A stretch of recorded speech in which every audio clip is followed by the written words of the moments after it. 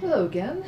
When I made my last video, I mentioned something called an artist trading card. I said I was making artist trading card and then I realized that I never really explained what an artist trading card is. So I thought I'd make another video all about artist trading cards. I've been experimenting with this nifty little printing technique using a toilet paper roll that I learned about recently. So that's what I'm going to use to make the, this set of artist trading cards. And I'll tell you about the process right now, but then while I'm making them, while you watch me make them, I'll tell you about the history of artist trading cards and about my history with artist trading cards. Artist trading cards are small cards that measure exactly three and a half by two and a half inches. They can be either portrait or landscape orientation.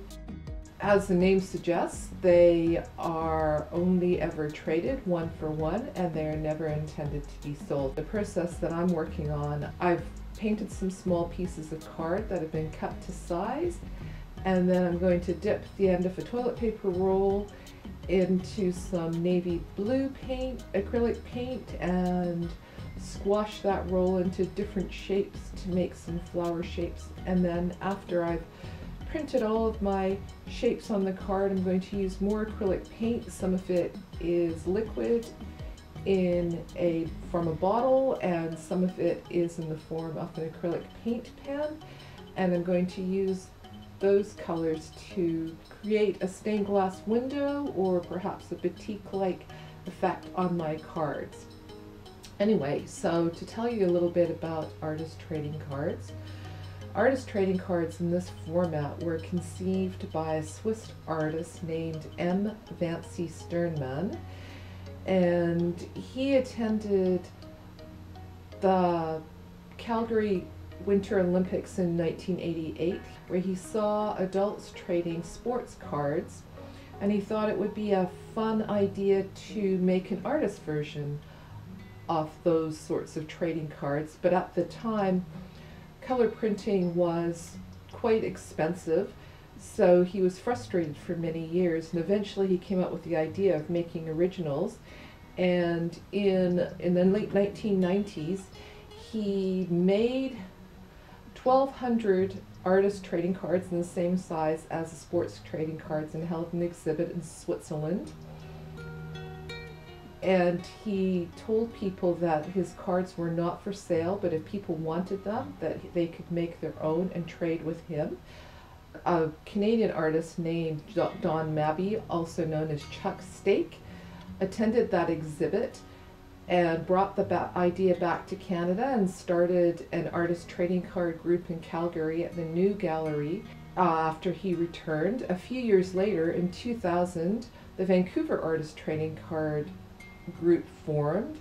And a few years after that, probably in 2002 or 2003, I happened upon an exhibit of artist trading cards at the Port Moody Art Gallery at the time my daughter was very young and liked to stay at home a lot so I didn't have much of a social life.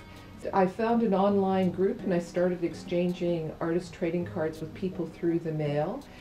That group went on to become atcsforall.com and that group is still very active. And I also joined the Vancouver Artist Trading Card group in 2010, I organized an exhibit of artist trading cards in honor of our Vancouver group's 10th anniversary, and we received submissions from North America, Europe, Asia, Australia, and even from South Africa.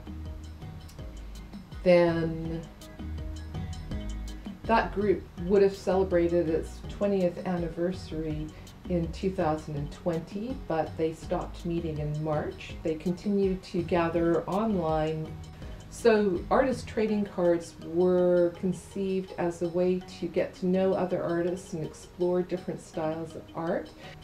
Stirnemann was part of the mail art movement and he he was very interested in democratizing the art movement and taking it out of the high art gallery system so his art may look a little different than you you may uh, than what you might think of as art, It's very experimental and conceptual in nature.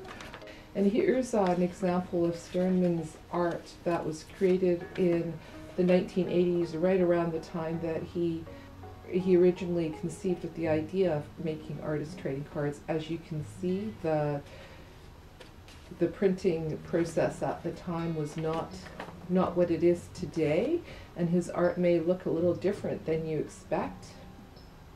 Anyway, I hope you've enjoyed watching me make these artist trading cards, and here are the finished results.